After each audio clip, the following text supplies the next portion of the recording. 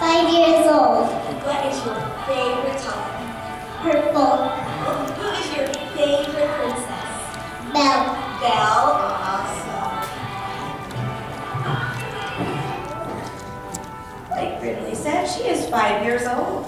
Her favorite color is purple because it reminds her of being a baby. Her favorite are shrimp and sushi. Brinley loves bubblegum because you can make bubbles.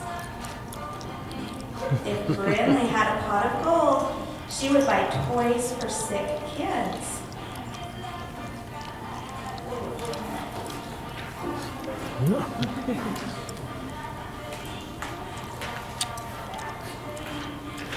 And we have a round of applause for Brinley.